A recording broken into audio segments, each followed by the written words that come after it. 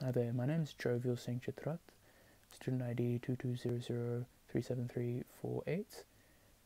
Um, initially, the idea of being in a fellowship wasn't that attractive for me, mainly because I didn't know where I wanted to work. But after working at Peter James Center Eastern Health, um, it changed my mind. I really want to work in rehab because honestly, I enjoyed it. It was really fun. Um, well, Eastern Health, the main values that they had that I really liked were kindness, respect, humility, and excellence, along with agility. Main one that spoke out to me was excellence. Do it right, do the correct job. Um, and that really spoke out to me because it was like excellence with kindness or excellence with agility. That's the thing that I really liked doing. Um, for example, like the elders that I was taking care of, they really liked to talk.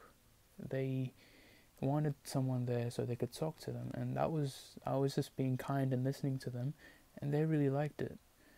Um, like other things, just seeing the patient improve. That was another thing that I really enjoyed.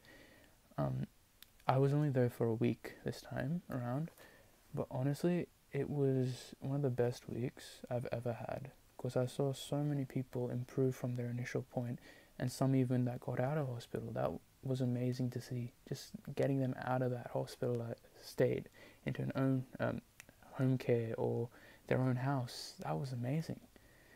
Um, and you got to see new faces and you got to learn so much and I learned so much in just a week by talking to them. It was honestly amazing. So yeah, that's why I really want to do fellowship now. Thank you.